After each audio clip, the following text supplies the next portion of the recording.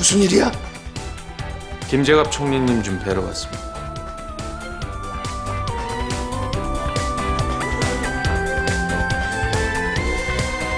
누가 제 발로 걸어 들어와? 강도윤이가 총리님과 독대를 하러 왔대. 뭐야? 날 보자고 한 이유가 뭔가? 아시다시피 서동환은 제 동생과 제 아버지를 죽인 범법자입니다. 그런 자를 골든 크로스에서 비호하실 리가 없겠지만 행여 그런 생각을 하실까봐 미리 말씀드립니다. 제 손에는 서동화가 진범이라는 명백한 증거가 있습니다.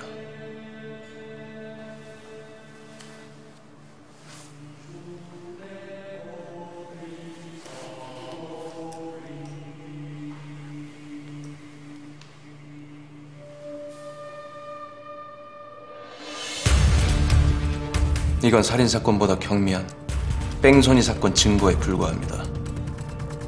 두 건의 살인사건 증거 역시 수두룩합니다.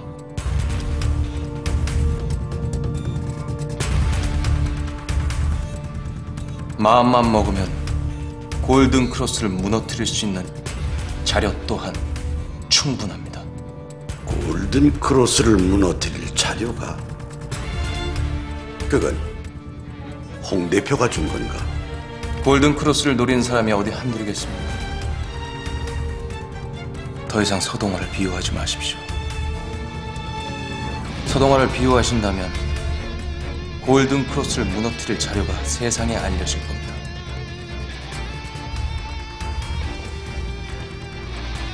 전 이만